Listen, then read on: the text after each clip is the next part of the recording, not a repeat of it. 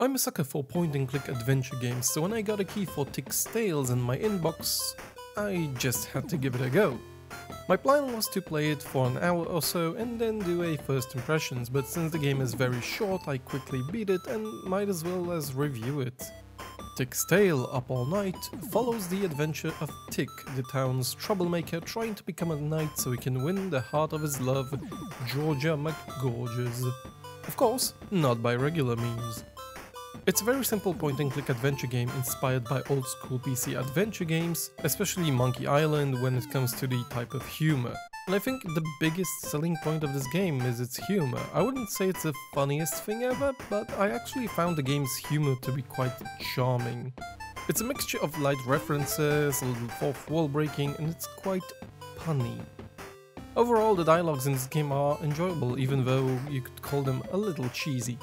There's no voice acting in the game, however there are a few recorded sound bites and I do adore that they even did a cat impression.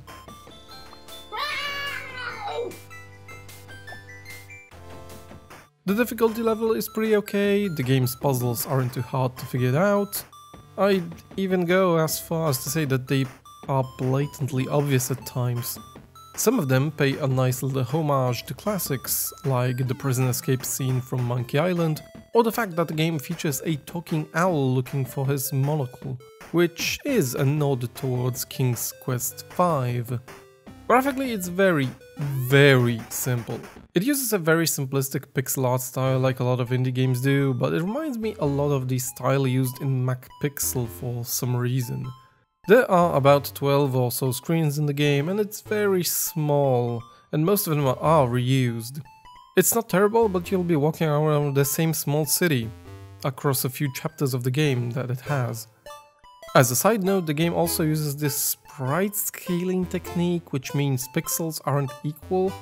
It's more of a personal thing, but I find that looking not too good.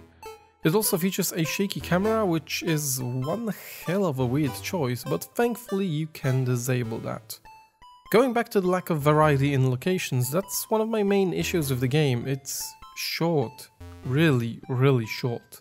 It's sweet and charming and fun to play, but it's just too short. I finished the whole game in around 2 hours for the asking price of $8 or 8 euros.